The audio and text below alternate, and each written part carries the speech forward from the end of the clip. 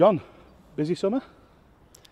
Eventful, yeah. Um, yeah, it was obviously it was good to be part of the, the squad with Scotland and and get a little break after it. So yeah.